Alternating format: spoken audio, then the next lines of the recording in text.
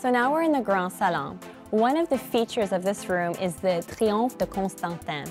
This dates back to the 17th century and it was actually woven by the Manufacture des Gobelins. And it's actually been on loan to the embassy here since 1938.